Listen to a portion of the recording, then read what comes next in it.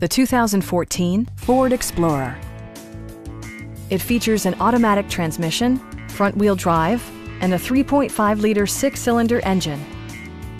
Top features include a split folding rear seat, a rear window wiper, a tachometer, power front seats, front fog lights, heated door mirrors, and one-touch window functionality.